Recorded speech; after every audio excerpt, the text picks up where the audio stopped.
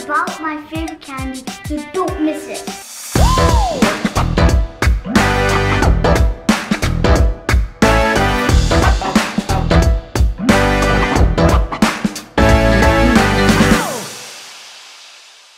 Hey guys, welcome back to Aaron Showtime and today I want to review one of my favorite candies in the world and it's called Sour Patch. You might know this, you might know. So I just want to review it today.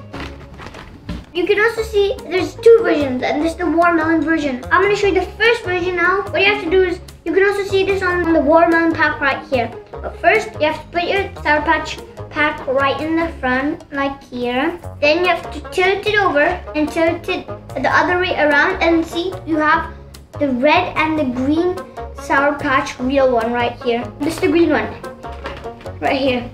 Now, I'm gonna open it and I'm gonna show you how it looks. And I'm gonna eat one. It's gonna be really yummy because I know it's watermelon favorite. So, here you go. Oh, whoa, one just flat out. But this is how they look like, you know. Let's eat it.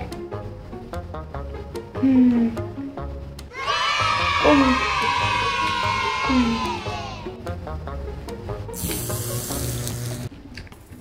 It is sour. Becomes sour. Later, later, later, when you actually chew it, it becomes sweeter. But I like the part when it comes sour because it actually makes up with the sweet part a little bit when you eat it. It's really, really, really, really good. That's the Sour Patches. I hope you like it. And you know, I'm telling you, you know what happening to this bowl right here. Yeah. Bye!